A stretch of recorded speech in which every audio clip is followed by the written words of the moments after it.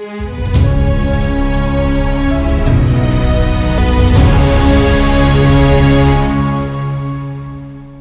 दोस्तों। राजनीति की बातों में आपका स्वागत है। मैं हूँ आपका दोस्त धर्मेंद्र कंवारी दोस्तों, चौधरी बंसीलाल के बाद अब हम एक नई कहानी शुरू कर रहे हैं। और ये कहानी उस इंसान की है दोस्तों, जिसको हरियाणा की राजनीति में सबसे बड़ा सम्मान मिला। और दोस्तों, आप सब जानते हैं कि ताऊ केवल उसी इंसान को कहा जाता है जिसका दर्जा बाप से बढ़कर हो।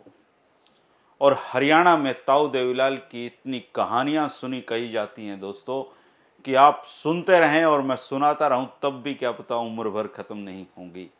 लेकिन इस सीरीज़ में हम ताऊ देवीलाल की उन कहानियों को जानेंगे और उनको समझने की कोशिश करेंगे जो ताऊ देवीलाल ने खुद अनुभव की थी, खुद अपने मुँह से बताई थी। ताऊ देवीलाल का जीवन दोस्तों बहुत संघर्षों से भरा हुआ है और ताऊ देवलाल जी के जीवन पर बहुत सारी किताबें भी लिखी गई हैं। लेकिन अधिकतर किताबें उस दौर में लिखी गई दोस्तों, जब चौधरी ओम प्रकाश चौटाला जी हरियाणा के मुख्यमंत्री होते थे और किताब लिखने वाले अधिकतर लोगों की मंशा चौधरी देवीलाल के बहाने ओम प्रकाश चौटाला जी की नज़रों में आना था, नज़दीकियाँ बनाना था। इसलिए उन किताबों में से अधिकतर किताबों की कोई खास अहमियत नहीं है, लेकिन कुछ किताबें हैं दोस्तों, जो चौधरी देवीलाल के ही दौर में लिखी गई और बहुत ज़्यादा प्रमाणिक वो किताबें हैं। ताऊ देवीलाल पर जितनी भी किताबें मैंने अभी तक पढ़ी हैं, उनमें से डॉक्टर राजा राम जी की चौटाला से चंडीगढ़ किताब मुझे बहुत अच्छी लगी है।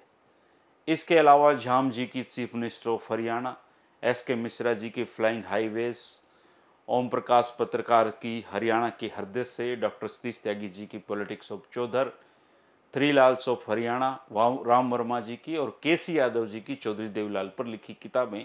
ऐसी किताबें हैं जहाँ पर आपको बहुत प्रमाणिक जानकारियाँ मिलती हैं। और अगर मैं अपनी बात कहूँ तो मैंने अपनी ज़िंदगी में चौधरी देवीलाल को केवल एक बार देखने का मुझे अवसर मिला।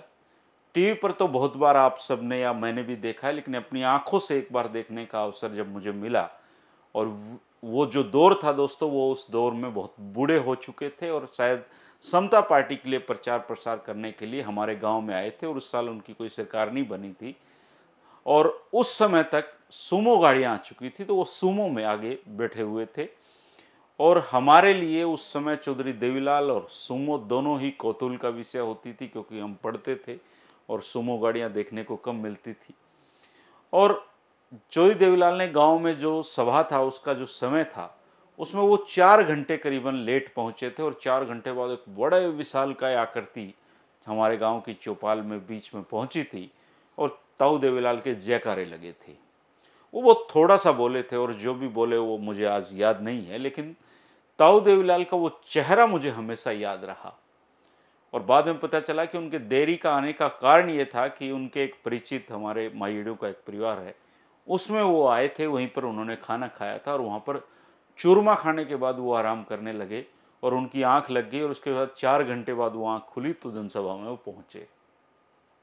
अब इसके बाद मेरे बड़े होने और चौटाला साहब की सरकार आने तक जो बुद्धि का विकास है दोस्तों, वो होता रहा और उसके बाद की करीबन सारी राजनीतिक घटनाएँ दिमाग में ज्यों की त्यों हैं और जो नहीं है वो किताबों में मिल जाती हैं। और अगर हरियाणा के विकास के लिए चौधरी बंसीलाल को हमेशा याद किया जाता है तो चौधरी देवीलाल को हरियाणा में इसलिए याद किया जाता रहेगा क्योंकि उन्होंने आम आदमी को यह एहसास करवाया कि सरकार असल में ये बाबू या अफसर लोग नहीं होते हैं। सरकार तो असल में वोटर होती है, वोटर के हाथ में असली पावर है।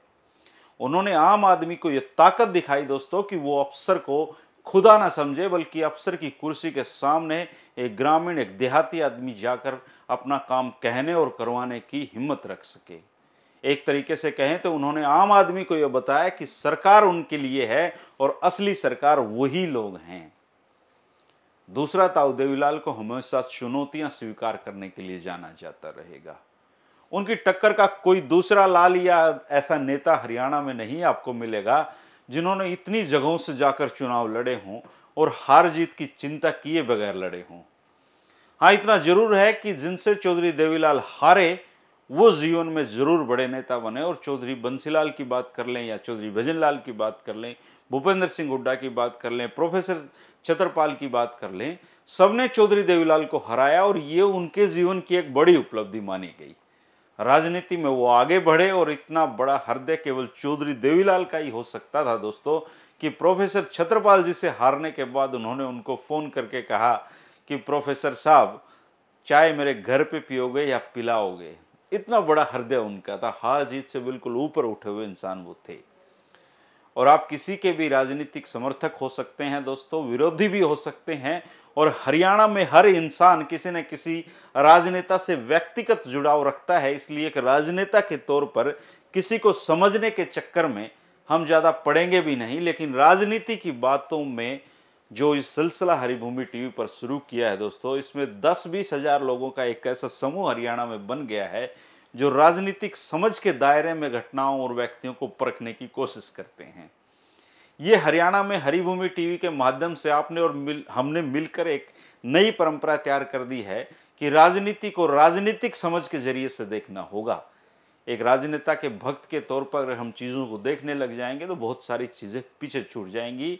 मैं इसके लिए भी आपको बधाई देता हूँ कि आप उस चुनिंदा हज़ारों लोगों में शामिल हैं जो राजनीति को राजनीति की दृष्टि से समझने की कोशिश करते हैं और मैं इसका एक माध्यम बना हूँ, इसकी मुझे हमेशा खुशी रहेगी। ताऊ देवीलाल को पंजाब, हरियाणा और राजस्थान की जनता दोस्तों कई नामों से पुकारती है। कोई उनको उस दौर में पंजाब केसरी कह देता था, कोई हरियाणा केसरी कह देता था, कोई किसान नेता कह दिया करता था। फिर ताऊ देवीलाल तो सबने ऐसा पुकारा ही उनको कि जगत ताऊ हो गए वो, और अधिकतर लोगों ने यही पता है कि उनका जो जन्म है वो चोटाला गाँव में हुआ था। लेकिन सिरसा में मेरे एक पत्रकार साथी हैं प्रमोद कुमार जी। प्रमोद कुमार ने सबसे पहले एक बेहतरीन रिपोर्ट चौधरी देवीलाल के जन्म स्थान पर 2018 में की थी, दोस्तों। और असल में चौधरी देवीलाल का जन्म 25 सितंबर 1914 को अपने नाना का जो गाँव था उनका, संगरिया के पास अमरपुरा जालू गाँव, वहाँ पर उनका जन्म हुआ था।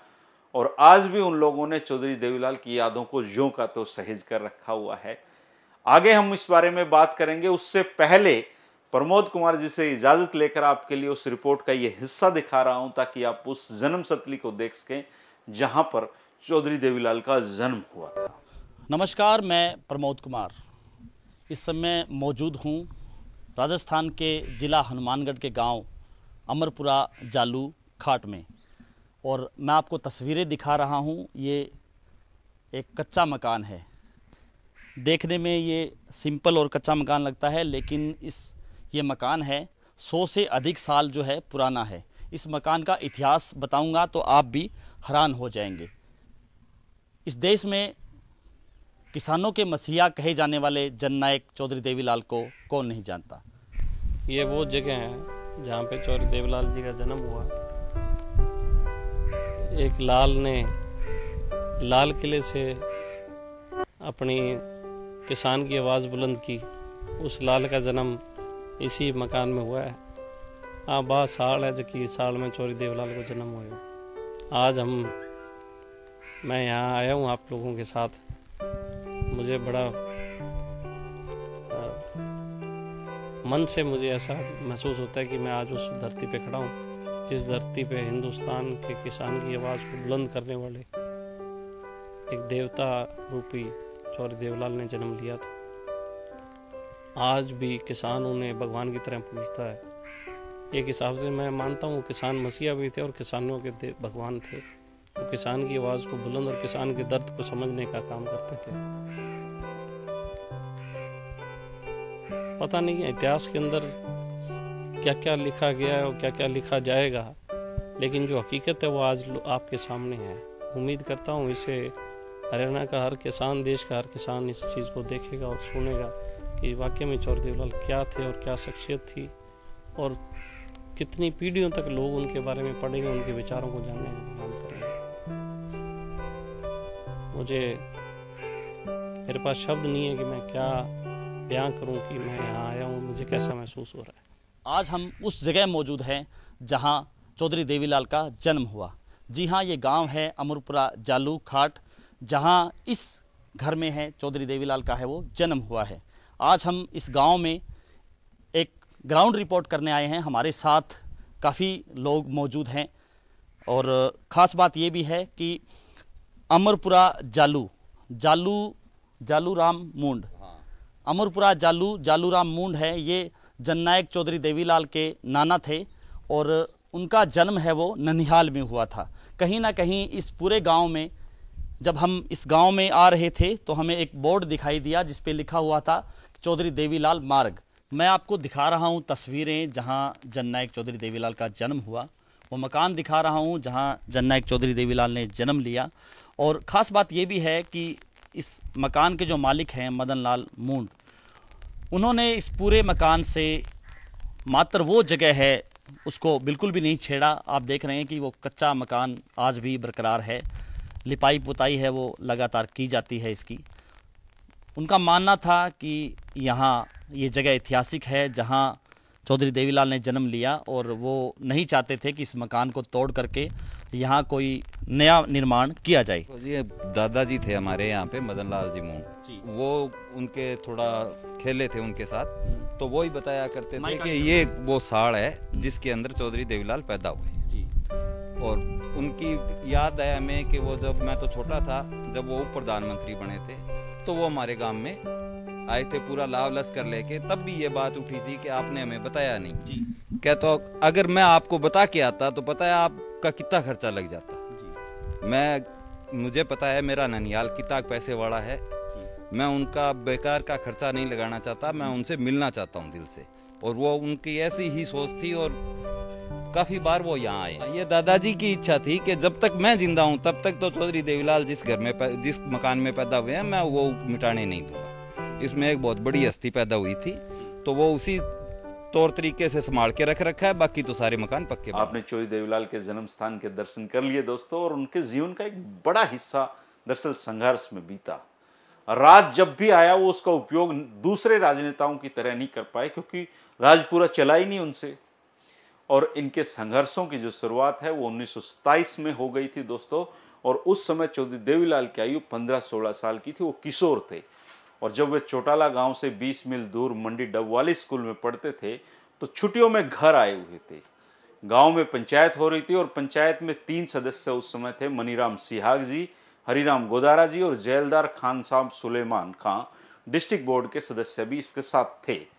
मनीराम सियाग जी चौधरी देवीलाल के रिश्ते में चाचा लगते थे और पंचायत में ही स्कूल के विद्यार्थी देवीलाल ने बड़े ही श्रद्धा भाव के साथ उनसे ये गुजारिश की कि आप तीनों साहेबान पंच होने के साथ साथ जिला बोर्ड के भी मेंबर हो और कम से कम आप लोग हमारे गाँव में मिडिल स्कूल तो खुलवाई दो। ये बात दो जो लोग थे उन्होंने तो ग्रहण कर ली, लेकिन चौधरी हरिराम को ये बात अच्छी नहीं लगी कि इतना छोटा सा बच्चा पंचायत में अपनी बात रखने की हिमाकत कर सके और वो भी जिला बोर्ड के सदस्यों के सामने। तो उन्होंने भरी पंचायत में कह दिया कि बच्चों, अगर ये सब लोग पढ़ लिख जाएँगे तो हमें कौन पूछेगा? बालक देवीलाल उस समय तो इसका बात का जवाब नहीं दे पाए, लेकिन चौधरी हरिराम की इस बात ने इस नीति को ज़रूर लिख दिया दोस्तों कि ये बच्चा बड़ा होकर कुछ ना कुछ ऐसा करके दिखाएगा, जो फिर अपने आप में एक इतिहास बनाया वो आप सबके सामने है। चौधरी देवीलाल अक्सर बताते थे कि जीवन में मिले तमाम अनुभवों में से ये एक अनुभव ऐसा था जो खरोंच से घाव बनता चला गया और जब भी जीवन में मौका मिला, मैंने उस घाव को भरने की कोशिश की। ये चौधरी देवीलाल के जीवन का एक टर्निंग पॉइंट आप कह सकते हैं दोस्तों, इसलिए हमें कभी ऐसे बोल नहीं बोलने चाहिए। उसके बाद एक दूसरा प्रसंग भी वो अक्सर सुनाते थे दोस्तों। डबवाड़ी स्कूल की छुट्टियाँ चल रही थी उसमें और चौधरी देवीलाल अपने घर आए हुए थे। और उस समय चाहे बड़ा परिवार हो, छोटा परिवार हो, बच्चों को भी खेती काम में काम हाथ बटाने पड़ते थे।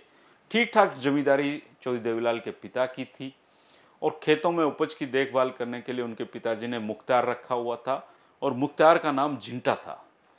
पुराने लोगों को पता होगा कि मुख्तार के नीचे फिर मुजारे काम करते थे कई कई खेत होते थे तो कई कई मुजारे होते थे। उन पे एक मुख्तार होता था।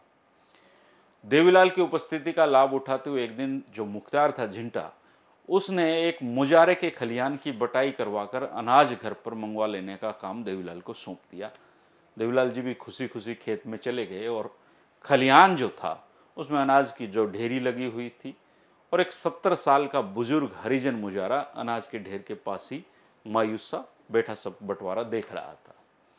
जमींदार मालिक के पढ़े लिखे बेटे देवीलाल भी वहाँ मौजूद थे तो उसको देखकर जमींदार मालिक एक बार सक पकाया और लेकिन धीरे धीरे फिर तुलाई होने लगी, उसकी आँखों के सामने सारे दाने तुले। तुलारे से लेकर गाँव के मिरासी, डाकोत, चौकीदार, सबके नामों पर खलियान का सारा अनाज छोटी छोटी ढेरियों में बदला, लेकिन मुजारे के नाम की ढेरी उसमें नहीं थी। घुटने मोड़कर लास्ट तक वो उदास खलियान के किनारे पर बैठा सब देखता रहा। और जिसकी आशंका थी वही होता देखकर वो बुज़ुर्ग चौधरी देवीलाल के आगे हाथ जोड़कर गिर गया कि चौधरी साहब के बेटे, मालिक के बेटे, मेरे बच्चे भूखे मर जाएँगे, मेरे लिए तो कुछ छोड़ो। उनके कहने भर की देर थी कि देवीलाल ने आज्ञा दे दी कि मुजारे के नाम के भी पाँच मन की अनाज की ढेरी अलग से बना दो। बूढ़े किसान की बुझी हुई आँखों में एक चमक आ गई, चौधरी, तेरी हज़ार उम्र हो, तू ढेर सारी पढ़ाई करे तेरे नाम के नगाड़े बचे वो दुआएँ देने लगा। और उसकी जो खुशी थी दोस्तों, वो ज़्यादा देर तक नहीं चल पाई, क्योंकि जब वो ये दुआएँ दे रहा था इसी दौरान, जो मुख्तार था मुसल चंद, वो सीधा वहाँ पर झिंटा अब मुसल लेकर आ गया और वो सीधा जो तूड़ा था उसकी तरफ़ पहुँचा और उसमें वो लाठी मारने लगा। थोड़ी सी देर में एक चतुर जासूस के तरह से उन्होंने, जो मुजारे ने, चोरी का अनाज छिपा रखा था, उसको ढूंढ निकाला। बूढ़े मुजारे की नसों में कांटो तो खून नहीं। पहले ही रंग काला था, और काला पड़ गया, और मुख्तार के मुँह से गालियाँ जो थी, वो गोलियों की तरह निकल रही थी। मुजारा कुछ नहीं बोल रहा था, और माफ़ी मांगने तक की हिम्मत नहीं बची थी। बस आँखों से आँसू निकलकर ज़मीन पर टक रहे थे। अब देवीलाल से रहा नहीं गया। उन्होंने मुख्तार से कहा कि क्या हुआ? जो पाँच मन अनाज इसने छिपा भी लिया इसके भी बाल बच्चे हैं, इसने भी काम किया है, पाँच मण अनाज से पेट थोड़ी पलता है। यह कहकर दस मण जो अनाज था उस मुजारे के खलियान में छोड़कर वापिस आ गया। मुख्तार, वहाँ तो चौधरी साहब के बेटे की बात थी, कुछ नहीं बोला, लेकिन आते ही पिता को शिकायत लगानी थी। चौधरी देवीलाल के पिता को उन्होंने बताया और इस दरिया दिली के लिए घर आते ही पिता से उन्होंने डांट खाई, लेकिन एक सबक जीवन में उनको मिल गया, दोस्तों, कि गरीब की ये सारी दुनिया दुश्मन होती है। केवल यही एक वजह थी कि वो राजनीति में आए और कुछ बदलने की कोशिश की। कितना बदल पाए, ये अलग बात है।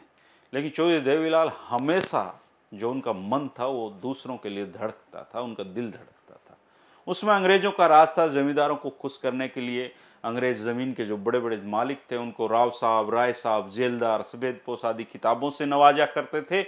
और इसी वजह से जब भी देश में आज़ादी का सवाल उठा तो इस वर्ग ने सामूहिक रूप से अंग्रेज़ों की हिमायतें की और असल में जमींदार जागीरदारों की पूरी जमात का रिश्ता अंग्रेज़ों के साथ शासक और शासित का नहीं, बल्कि स्वामी और दास का होता था।